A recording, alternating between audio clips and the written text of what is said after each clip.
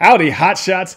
Beaming to you from Not a Financial Advisor land with not financial advice. It's Kevin with Earth 2 Mastery, one of your top 39.7625 favorite digital investment YouTubers.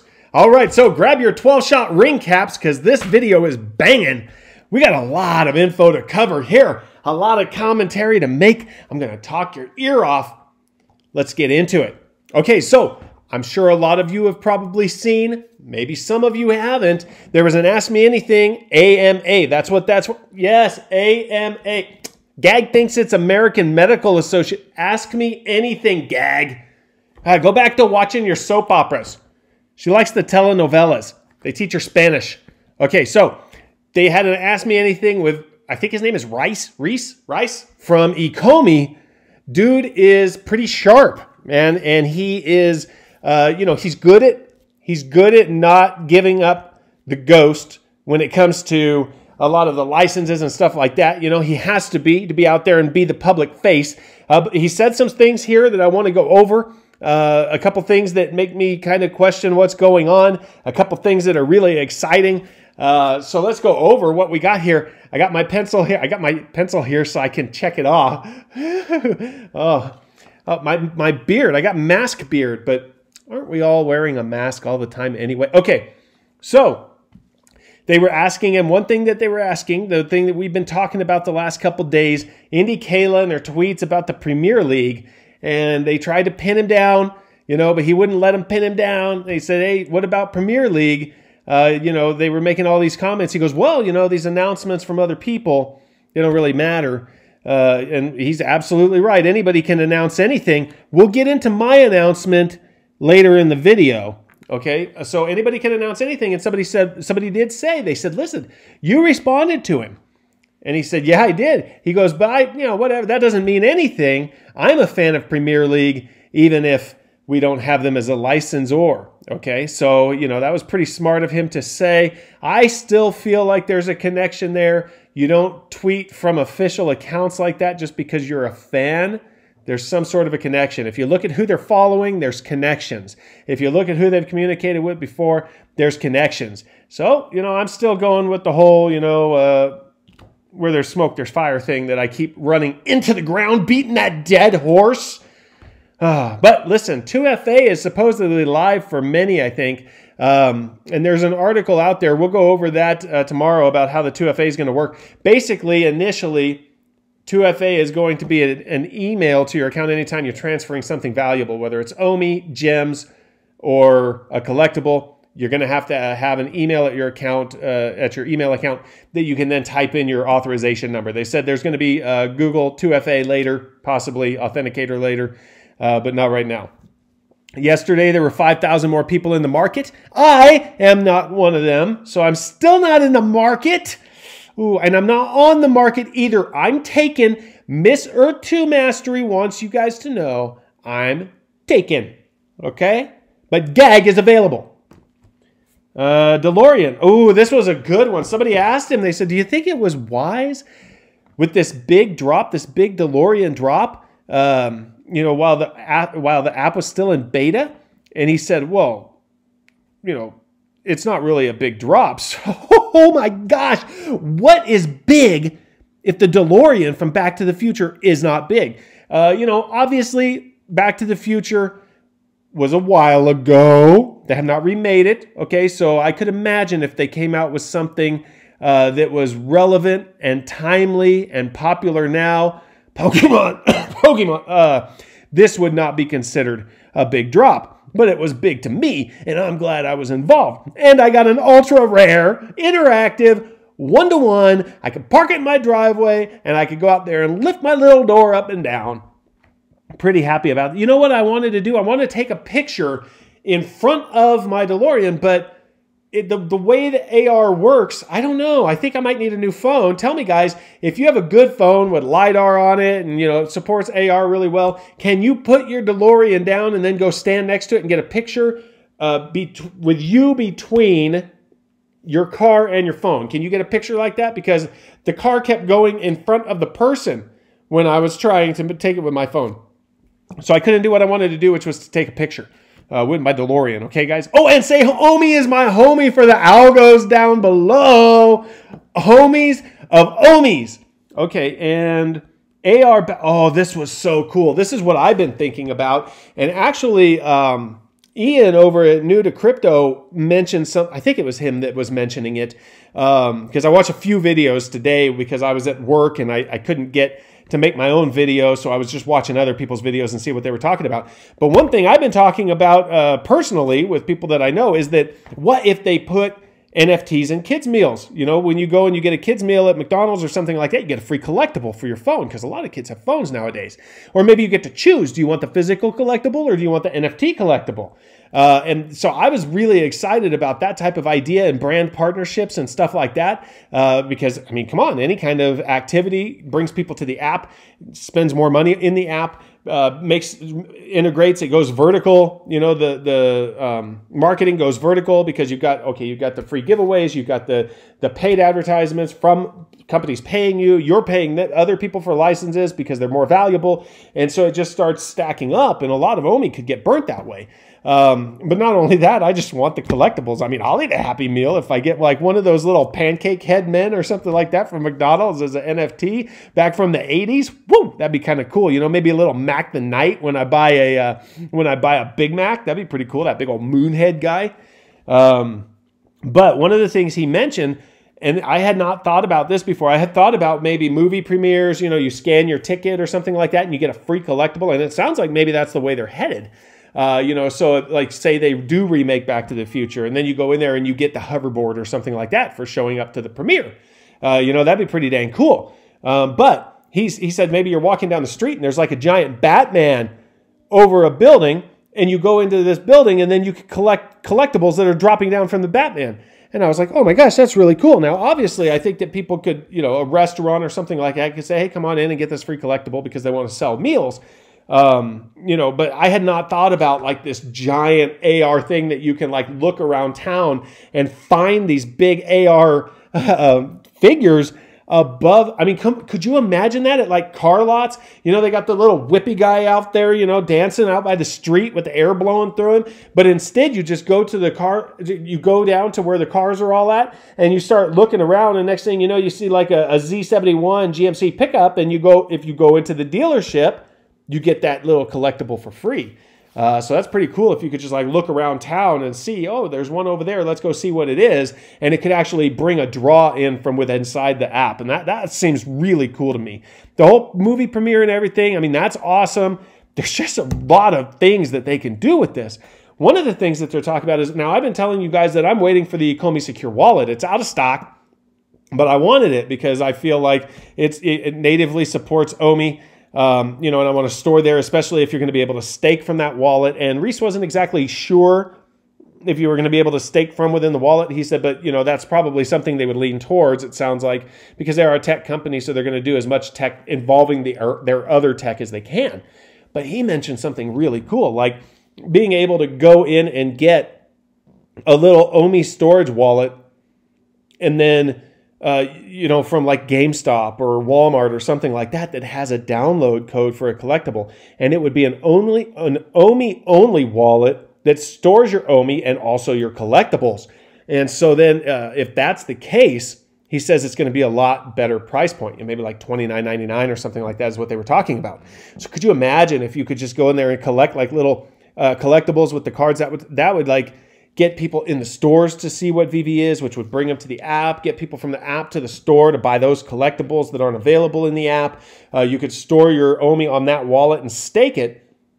And uh, oh, let me get let me let me check off my stuff over here so I don't keep uh, talking about the same thing. But you go you go to stake it, and maybe by staking it you get special collectibles. And that's what he was saying is that you know, a lot of people when they stake their uh, cryptocurrency, they're getting more of that cryptocurrency. And so the the questioners, the degens, I guess they call themselves, uh, were asking him about whether there was going to be some sort of a reward uh, in OMI for staking your OMI. And he said, no, I think most of the, the, you know the rewards are going to be in app. So you're going to be able to like stake so much OMI for such amount of time, and then you're going to be able to get free collectibles, or you're going to be able to get rare gems like golden gems that you can buy special collectibles with.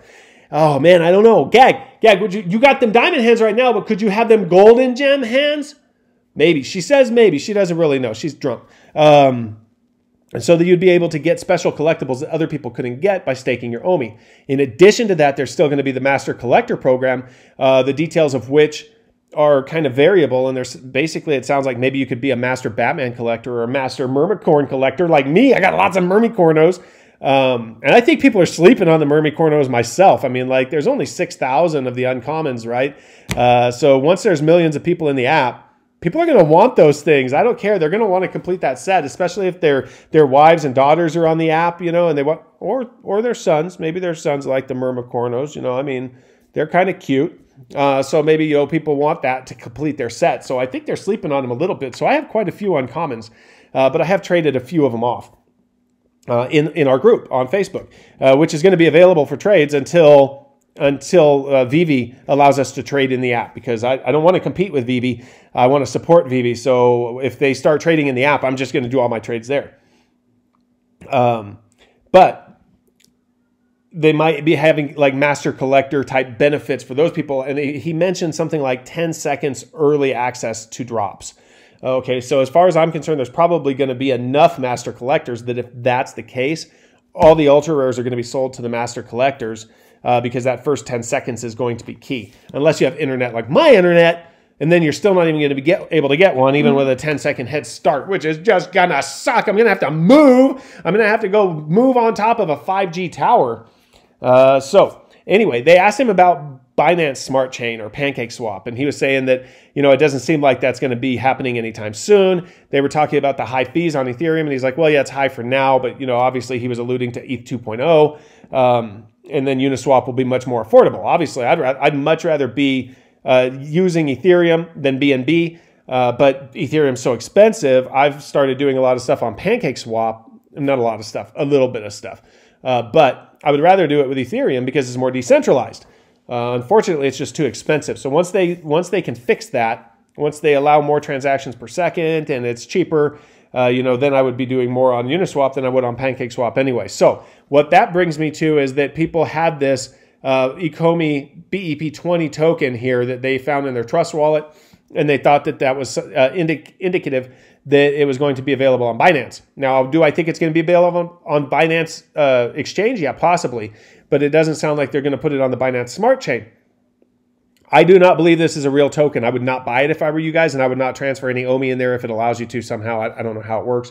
Uh, but people have compared the contract numbers and they don't match. Anybody can go on there and make a token. Uh, you can see that the logo isn't even exactly the same. If you, if you look up here at the Go20 logo for OMI versus this one down here, it's just a little bit off. It's just, it's just, I think it's a scam. Don't, don't do it, guys. I don't want you to get scammed, okay? Um, themed showrooms. Oh, that's a big one. And that's something that I think is going to create a lot of Ecomi burn as well. Is that when all these accessories come out for your collectibles, like, uh, you know, he was mentioning a Bat Cave or a Dark Alley or something like that. You know, if you could get like Arkham Asylum, some kind of crazy backgrounds like that, or, or maybe even like the full blown thing, right? Like a house size. Could you imagine getting like a house size uh, Bat Cave? and you could go and put your Batman all around the house, and then you could drop your vault on the yard, and you could go walk around inside that house and see the Batman and and, and uh, you know Harley Quinn and whatever's going on in there. um, you know, you see it like you could walk through the rooms and everything with your phone, or possibly even in VR with the VeVe verse, because they did mention that Ready Player One is their end game goal. My guys, guys, the whole reason that I got involved in Earth 2 is because I'm wanting Ready Player One. I've wanted it since I was a little kid. I told the people that I talked to about Earth 2, if any of them still watch me, they're probably mad because I mostly do VeVe videos, uh, you know, but I can only do like one video a day because of time constraints and and, and stuff. So I, have been focusing on VeVe right now because not a lot's been happening with Earth 2, but I want Ready Player One. I, I, got the Power Glove. I wanted the Power Glove when I was a little kid. I never got the Power Glove, but the Power Glove was lame anyway. That was for Nintendo. For you guys, it looked beep, beep, beep, beep, beep, and then it tried to pretend that it was virtual reality, but I like virtual reality, and I want Ready Player One. I want to go into my own home with my own collectibles around and everything. Like, I just need Ready Player One. I don't care what company does it. Obviously, I'd rather it be Earth 2 or VeVe since I'm around, you know, invested in both of them. But man, I need some Ready Player One action in my life. Okay. So, themed showrooms. I mean, that's just going to be so cool. If you could just put on your VR headset and walk through your showroom and look at your collectibles is really cool. Okay, so they asked him about the numbers. Like we were, I was kind of wondering this. Like if you drop the DeLoreans, are you keeping 1985 and 1955 and 1885 for yourselves, or are you just taking the first 40 that come off? And he was saying that they don't keep the first 40 of every run. If there's a very limited run, it was like the first 12 or something. They were talking about the Golden Mooglies, but I don't think we're going to have a drop that small in the future. So I could, that's kind of irrelevant. So let's just go with the number 40 right now. They keep off the top. Uh, he's saying they just take the first 40, and all of the number ones are going into the VeVe Vault and you know that'll be on display for you to i guess you could walk through the VeVe vault probably uh, at some point in time but that's going to be in the VeVe showroom, so that's not going to be available. So nobody's going to have number ones. Uh, maybe somebody got one in the past, but it doesn't sound like they're going to get them in the future. And then the one through 40s, they say for uh, promotions, marketings, giveaways. And that's in addition to whatever the licensors require. So, you know, when they go to get a license, that's obviously part of the negotiations. Like maybe they didn't, but maybe Back to the Future would say, we want all the 1985s. That's just bottom line. And they would say, okay, well, we have to do that because we want the license. Uh, so that that happens too. Uh, people were asking him about GoChain and why they picked GoChain. He said GoChain was the best available at the time. Maybe it's still the best available. I don't know. Maybe Cardano is better or something like that. Uh, but it sounds like another blockchain is not out of the question. If it did happen that, that another blockchain was used and they migrated to that blockchain, uh, we would just get like a, an OMI fork, I'm sure. So they would just exchange. I just went through one of these with Student Coin where they forked the V2 for a, a second layer solution so that they could be faster and cheaper because they're on Ethereum and so it's very expensive to use Ethereum. So they went to version two so that it was cheaper. And if you're if you haven't looked at Student Coin, uh, I've got a link in the description and pinned to the top comment. Uh, they've been doing pretty good with their roadmap, and they've got three exchanges that are supposed to be available after their uh, ICO launchpad is over in May. Uh, so maybe take a look at that. Not financial advice though. I just bought a little tiny bit, you know, just so that I had it so I could check it out. They've got kind of a Facebook marketing plan. Uh, okay, and so they one thing that he said uh, oh well, here they he they asked him about going to Japan. They were in Japan at that toy convention or whatever it was about licenses there, and he said he didn't have any details on it, but he was very tight-lipped about all the licenses. So you know he, he's legally trying to protect himself and VeVe, uh, and, which is very smart. So you know we can pry, but uh, it's really it's really not our place to pry either. Like when they need to when they're ready to announce something, then they should announce it. But uh, for us to try to you know pick at it, I mean if they let something slip on their own or if they plant some seeds, you know, maybe they want them planted and then we can dig into it. But as far as like they put Hulk on one of their Medium articles, uh, obviously they're planting the seed that they have Marvel. Um, you know, it's not an oversight. Okay, so they're planting the seed that they have Marvel. Uh, you know, and I, I don't mind talking about that. But as far as like you know, bugging them and bugging them, bugging them about what the thing is, we'll just see it when we see it. You know, I, I feel like we can all infer that they probably have a leg up at possibly having Pokemon. Oh, they did ask him though. I'm gonna dig. I'm doing exactly what I said. Not, okay. They asked him if the fact that um, Pokemon Go. Oh my gosh, are you serious? Here we go again, Gag. You got me frozen over here. Gag, you got me frozen. New movie recording. Everything is Gag's fault. She's probably running her hair dryer too hot, using up all the electricity, and it froze me down there. Okay. Oh, move myself up. Uh, so they asked him about uh, Pokemon Go. If Pokemon Go, being an AR game, augmented reality game, uh, interfered with the licensing negotiations uh, with VeVe, or the fact that VeVe offers AR and wants to get into gamification, if that was interfering with their Pokemon Go, or you know, or could negotiates with other licensors, and he was just like, no, not that I know of. So he didn't come out specifically and say we're we're not we're not talking about Pokemon, or I can't confirm that we've even been in negotiations with Pokemon. He just kind of glazed over it. Probably doesn't mean anything. Not confirmed. But Al Khan named Pokemon. Okay, that's all. David you brought Pokemon to Australia. Okay, I don't know. I don't know. Okay, here's the one thing that I wanted to talk about. This is the one thing from the interview that I was like, mm, they really haven't come out and explained it well. He said they just introduced burn in the marketplace, in the market. And I just, I even tweeted him and I asked, I said, hey, what what's the deal? Like it looks to me in the token metrics, the original page, and I'll go back over it again. I've gone over it three or four times. I'll go back over it again. But it looks to me like all of the gems, all of the new gems that were bought with fiat in the app resulted in a 100% burn of OMI if it was spent in the market. So the market always looked like it was going to burn more Ecomi than the store. But now they've just totally forgotten about that and glazed over it, and they keep bragging about this 2.5% that's going to get burned on every transaction in the market, but they're not addressing the fact that initially they were saying 100% of the gems that were purchased with fiat and spent in the market were going to be burned. Uh, so I don't, you know, that that part that kind of I like everything they're saying, but that part sticks in my craw a little bit, especially because they're kind of like doing the runaround. They're not really addressing it. They're beating around the bush, right? They're coming out as if it's great news that this has happened, but we all know that they were supposed to be burning a lot more than that. So that's a little bit weird. And I had, you know, obviously when I'm looking at it, I'm going, wow, that's a lot of burning that's going to be happening when people are trading collectibles back and forth. And now come to find out that's not all even being burned.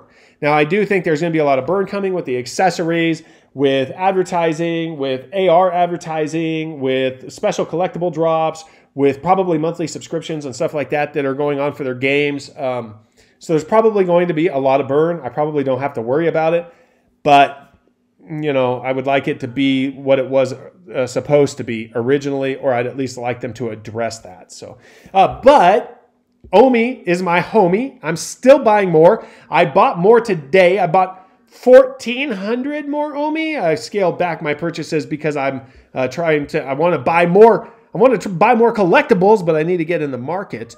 Um, and so I have been buying them slowly, you know, outside the market, but I really want to buy them in the market. I don't want to buy expensive collectibles outside the market because it's too risky. I want to be in the market and buy them. Um, but I did let I did let VeVe know. I'll have you know um, that I, I I tweeted him. I let him know I know you guys have been waiting for me to let you know, and I am open to licensing my likeness for a limited run of collectibles, but I'm still trying to convince Gag. Gag, no, cameras don't steal your soul. God, she's stuck in the 1800s. I'm still trying to convince Gag, and so I'll have to get back to you on it. Okay, so if you want to see if I get my own collectible, you're going to have to get to sub it, sub it, sub it, sub it, sub